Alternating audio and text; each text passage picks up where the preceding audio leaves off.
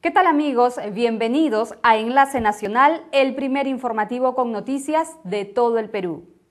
En Cusco intentan sofocar incendios forestales en las cercanías al santuario de Machu Picchu, mientras que en Puno y Chiclayo prosigue la huelga médica. En tanto, en Piura los galenos de E-Salud levantaron provisionalmente su medida de lucha. En otras noticias, mañana se inicia la CADE de emprendedores de la micro y pequeña empresa en Lima. Asimismo, el legendario artesano andahuaylino Fidel Barrientos nos muestra lo mejor de sus trabajos que van desde los tradicionales toritos de Pucará hasta figuras hechas a base de piedra de Huamanga. Estas son algunas de las noticias que les ofreceremos en nuestra jornada informativa. Bienvenidos.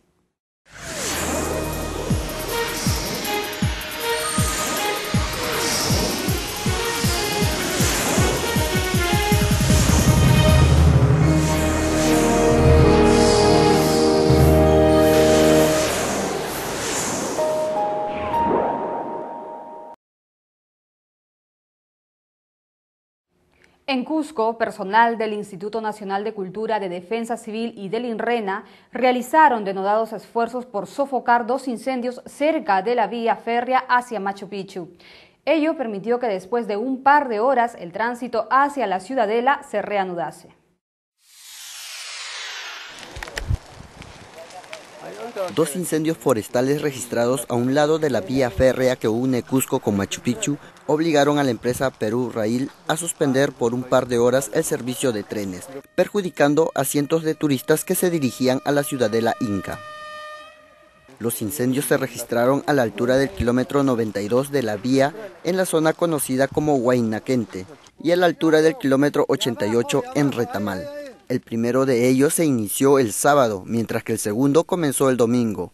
En total serían más de 700 áreas de pastizales los que se habrían quemado. Personal de los bomberos del Instituto Nacional de Cultura, de Defensa Civil y del INRENA realizaron denodados esfuerzos para apagar las llamas que habrían sido provocadas por campesinos de la zona al quemar sus pastizales para realizar una nueva siembra.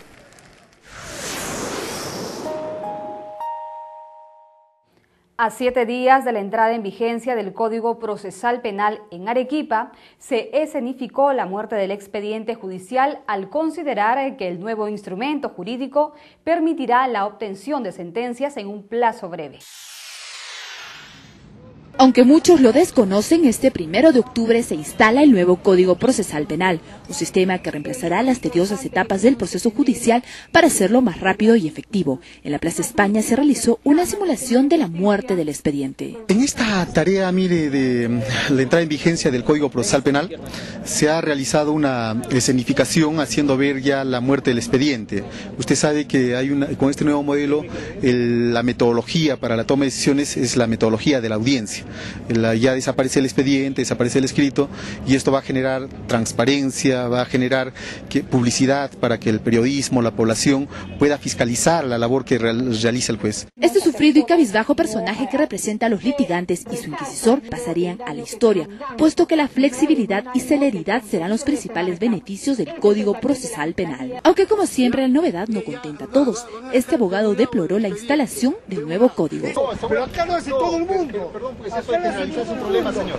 Es problema, es, acá, lo hace todo el mundo. La corrupción, la corrupción del primer poder es el judicial, señor. El billete entra por debajo del escritorio porque siempre ha entrado, todo lo había entrado. ¿Pero con este código también va a ser lo mismo? Igualitito.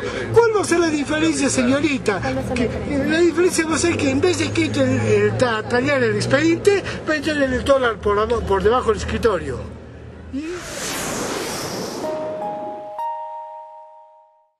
En Puno, los médicos piden no solo la renuncia del ministro, sino también la del director regional de salud, Percy Sela. El funcionario aludido señaló que no dejará el cargo al considerar que viene trabajando a favor de los pobladores de la región.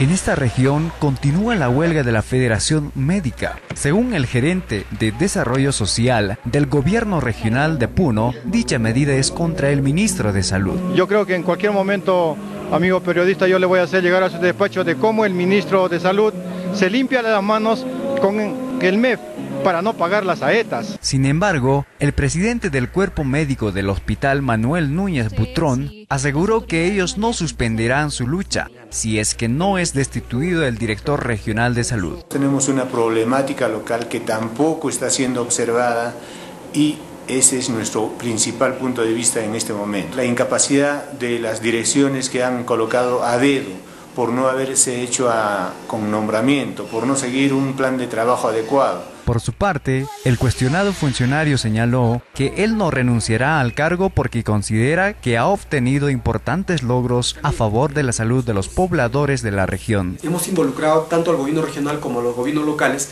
para lo que significa el mantenimiento o equipamiento del, del primer nivel de atención. Hay una serie de deficiencias y justamente en esto estamos trabajando.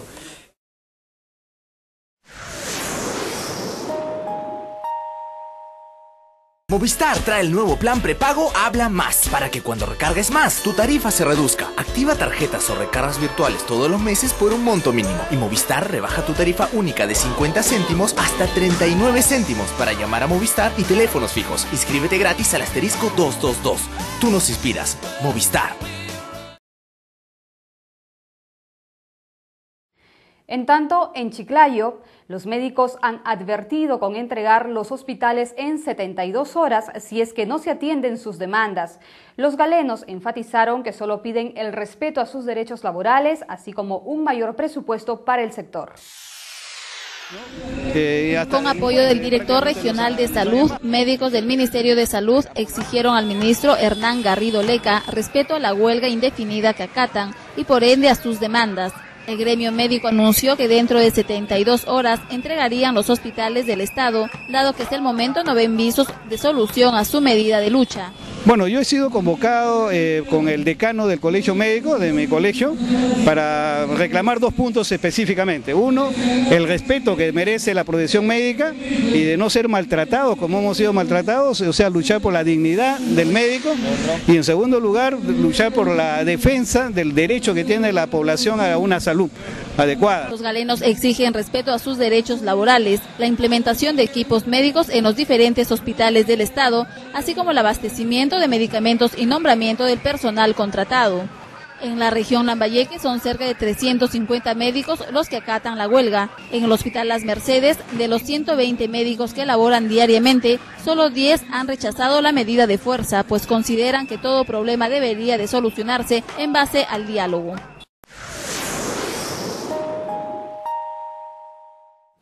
Y en Piura, la atención en todos los hospitales de salud se normalizó, luego que se acordara suspender la huelga de manera temporal.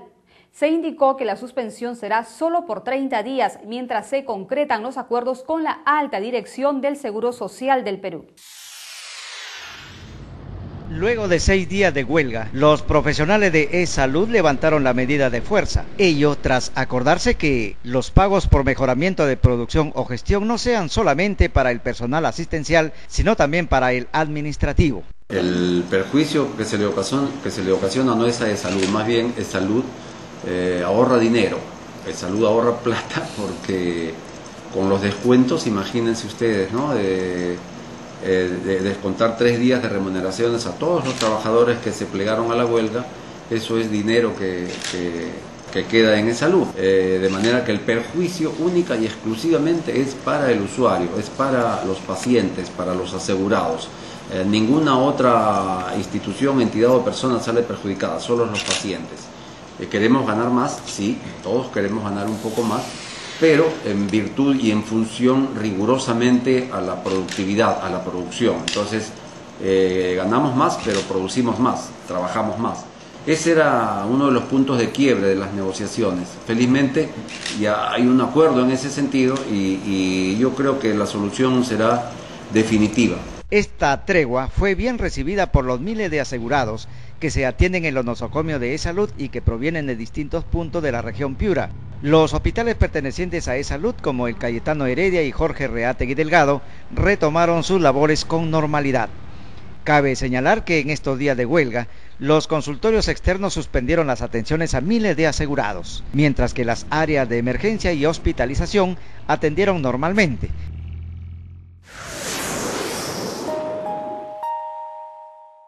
Movistar trae el nuevo plan prepago Habla Más para que cuando recargues más, tu tarifa se reduzca. Activa tarjetas o recargas virtuales todos los meses por un monto mínimo. Y Movistar rebaja tu tarifa única de 50 céntimos hasta 39 céntimos para llamar a Movistar y teléfonos fijos. Inscríbete gratis al asterisco 222. Tú nos inspiras. Movistar. En su primera edición, la CADE Emprendedores pretende captar a empresarios emergentes con el propósito de hacerlos crecer y por ende apunten hacia la exportación. Emprender, innovar y competir para conquistar el mundo será el tema principal del evento que se inicia esta semana. En nuestro país, más del 90% de establecimientos pertenecen a la mediana y pequeña empresa las cuales han dado un gran salto en la economía nacional gracias a la alta productividad que generan. Seis de cada diez empleos de los peruanos es generado por una empresa, por una micro o una pequeña empresa. Generalmente, la baja productividad se asocia a la micro y pequeña empresa. Sin embargo, la realidad señala que las MIPES contribuyen con el 45% del Producto Bruto Interno. En ese sentido, la CADE Emprendedores 2008 presenta tres grandes bloques orientados a los exportadores de pequeña escala, emprendedores dinámicos y finalmente los innovadores. Pensamos que estos tres personajes dentro de esta inmensa ejército de micro y pequeños empresarios son las locomotoras que pueden conducir a la renovación del tejido productivo y al desarrollo y modernización del país. En esta CADE 2008 se espera la asistencia de más de 500 empresarios nacionales, ello con el objetivo de que junto a representantes del gobierno asuman los retos de la globalización y de la inclusión social.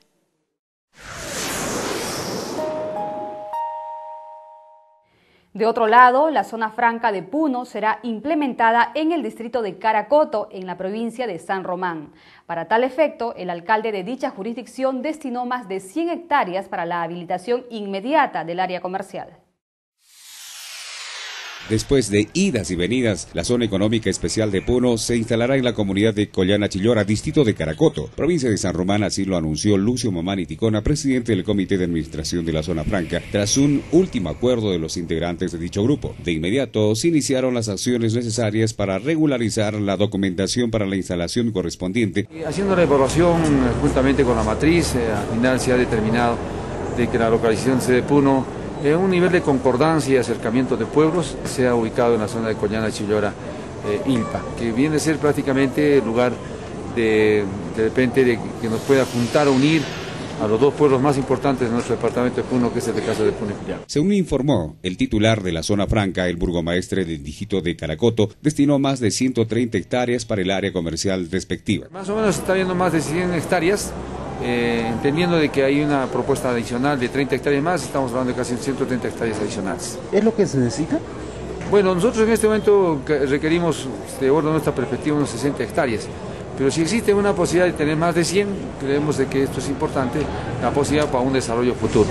La región Puno, por su ubicación geográfica estratégica, se beneficiará con el ingreso de inversión local y extranjera gracias a su cercanía con Brasil y por ende la zona franca revertirá en la creación de puestos de trabajo.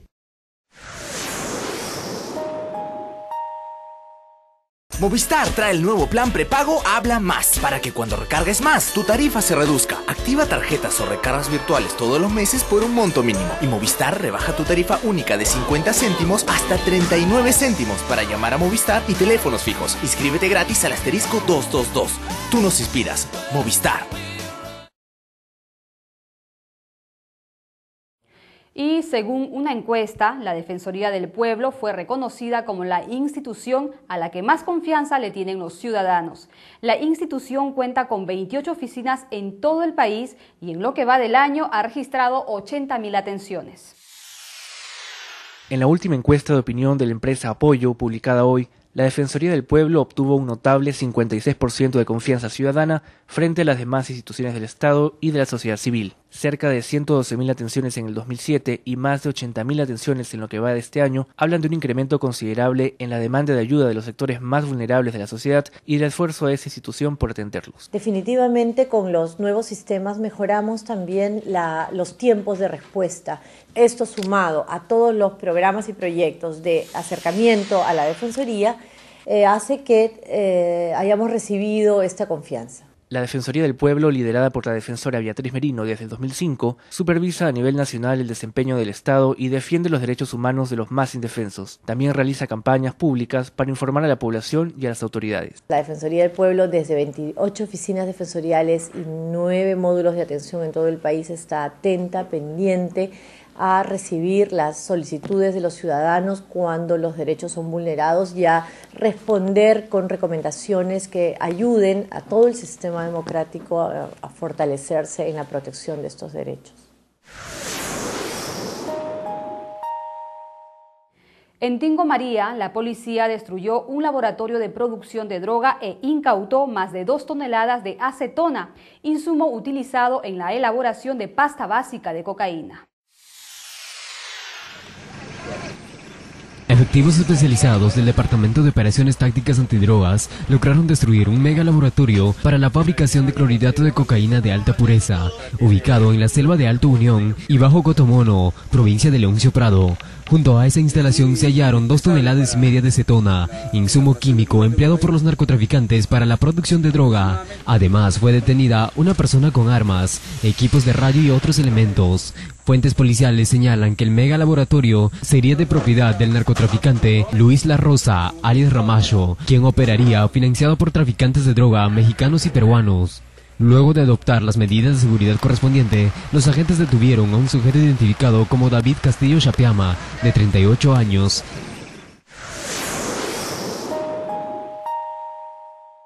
Movistar trae el nuevo plan prepago Habla Más para que cuando recargues más, tu tarifa se reduzca. Activa tarjetas o recargas virtuales todos los meses por un monto mínimo. Y Movistar rebaja tu tarifa única de 50 céntimos hasta 39 céntimos para llamar a Movistar y teléfonos fijos. Inscríbete gratis al asterisco 222. Tú nos inspiras. Movistar. Al menos tres muertos y unos 30 heridos dejó la caída de un camión a un abismo de unos 30 metros en el kilómetro 9 de la carretera que conduce del distrito de Colquepata a la provincia de Paucartambo en Cusco. Al menos tres muertos y unos 40 heridos dejó la caída de un camión a un abismo de unos 30 metros en el kilómetro 9 de la carretera que conduce al distrito de Colquepata, provincia de Paucartambo, en Cusco. Según información preliminar de la policía de la zona, el camión de placa de rodaje número 4883 de color blanco marca Mitsubishi, que era conducido por Abelino Huarcaya Paco, de 26 años de edad, sufrió un despiste y volcadura probablemente por exceso de velocidad en la que venía hacia la ciudad del Cusco. La zozobra era intensa por parte de los familiares que se encontraban en el servicio de emergencia del hospital regional, quienes desesperados señalaban que este hecho se dio por culpa del gobierno central, quien aprobó el decreto supremo que perjudica a los comuneros y que les deja sin el líquido vital. Alrededor de 40 heridos en el centro de salud de Pocortambo. ¿Qué es lo que se sabe? Todos hablan de una excesiva velocidad, pero más detalles no lo podría dar. Es un camión. Es un camión Canter. ¿A qué hora más o menos cayó? 6 de la mañana, entre 6 de la mañana y 6 de 30 de la mañana.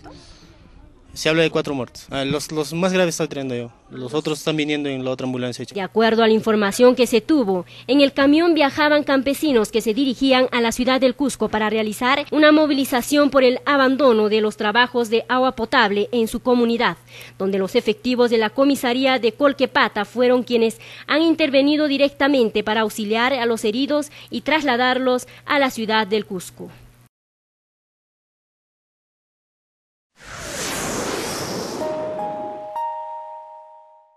La policía de Pisco presentó al autor del asalto a un grupo de jóvenes extranjeros que prestaban voluntariado a los afectados por el terremoto. El delincuente cuenta con varias requisitorias y se espera dar con el paradero de sus cómplices. Luego de un paciente operativo, la Policía Nacional logró capturar a Iván Alexander Cruz Dolorier, de 30 años, alias El Águila, quien, junto a otras dos personas, asaltó a 18 jóvenes que realizaban actividades de voluntariado en Pisco. Los delincuentes, que estaban armados, se llevaron tres maletas con dinero en efectivo, pasaportes, computadoras y cámaras de video y fotográficas. El asalto se produjo en el distrito de San Andrés. El coronel Tomás Chumacero Rodríguez, director de la decimoquinta Dirección Territorial Policial ICA, señaló que el delincuente detenido tenía antecedentes penales y tras su captura se espera dar con el paradero de los otros dos implicados en el robo de los extranjeros. La persona intervenida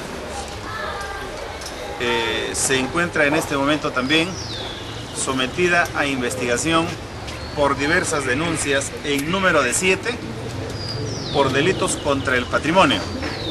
Los voluntarios asaltados se encontraban en Pisco ayudando en la instalación de módulos en diversos sectores, como colegios y servicios higiénicos, de manera gratuita. Movistar trae el nuevo plan prepago Habla Más para que cuando recargues más, tu tarifa se reduzca. Activa tarjetas o recargas virtuales todos los meses por un monto mínimo. Y Movistar rebaja tu tarifa única de 50 céntimos hasta 39 céntimos para llamar a Movistar y teléfonos fijos. Inscríbete gratis al asterisco 222. Tú nos inspiras. Movistar. Y en Tarapoto, un conductor salvó de morir luego de que el camión que se encontraba reparando le cayera encima. La víctima pudo ser socorrida a tiempo por sus ayudantes y vecinos.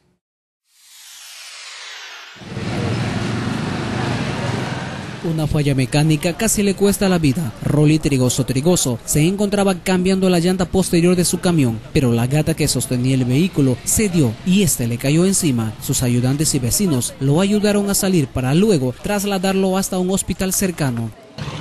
se me cayó el carro encima después y me dobló la, víctima que se dedica a transporte de desmonte y otros productos fue socorrida a tiempo y ha recuperado. Rolly Trigoso señaló que el piso inestable hizo que la gata colocada para sostener al camión se desestabilizara. Tras los primeros auxilios, Rolly Trigoso se negó a continuar en el hospital para su atención y completa recuperación. Él fue socorrido y manifestó sentirse mejor mientras era trasladado a un hospital en un motocarro.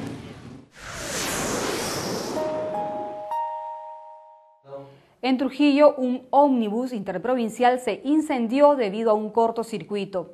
Por suerte, el vehículo se encontraba sin pasajeros. El siniestro demoró dos horas en ser controlado. Una vez más, un ómnibus de la empresa de transportes línea se incendió cuando se trasladaba por la avenida Roma, a la altura del Hospital Regional Docente de Trujillo. El incendio se produjo cuando este ómnibus, felizmente sin pasajeros, conducido por José Estrada Rodríguez, sufrió un cortocircuito en los cables de su cabina. Las llamas devoraron inmediatamente los asientos y demás enseres del vehículo, siendo vanos los esfuerzos del chofer para controlar el fuego. Cabe mencionar que los bomberos, a pesar de llegar tarde al lugar del siniestro, tardaron dos horas para aplacar las llamas que consumieron al ómnibus casi por completo. Cabe señalar que el conductor no sufrió ninguna lesión de consideración. Además es menester precisar que esta no es la única vez que un ómnibus de la empresa de transportes líneas se incendia. Además, las llamas no alcanzaron al tanque de combustible, de lo contrario, se hubiese producido una gran explosión con trágicas consecuencias.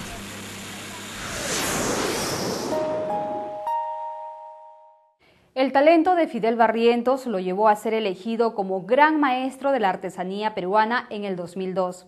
Sin embargo, su creatividad no solo se limita a piezas únicas, sino que además ha desarrollado un estudio sobre la piedra de Huamanga y ha sido curador en piezas de Palacio de Gobierno y el Congreso de la República. El arte está en las manos de Fidel Barrientos y de eso no hay dudas. La piedra de Huamanga, la madera y el cuero no se resisten a los caprichos de sus gurbias que los surcan plasmando en ellos formas y figuras que la inventiva le manda. Con una trayectoria de 50 años, este artesano andahuaylino ha sabido colocar su trabajo en las mejores galerías de Lima, así como en las principales ciudades del mundo. Ah, bueno, esa ubicación es bien variada, porque generalmente salen fuera del país para coleccionistas privados o para los diplomáticos que vienen, que se les trabaja, ¿no? Pero más allá de plasmar su creatividad, Fidel Barrientos ha desarrollado un trabajo de investigación sobre la piedra de Huamanga, la cual le ha servido para trabajar lámparas e imágenes religiosas. La piedra de Huamanga es el alabastro, es un alabastro nacional que tenemos en todas partes del Perú.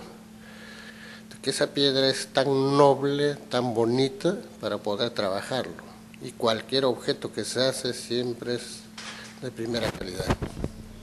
En el taller de este maestro uno puede encontrarse con toritos de pucará, sillones y muebles de cuero repujado, tallados de madera estilo barroco, así como diversos objetos de cerámica todos ellos piezas únicas que evocan gratas sensaciones.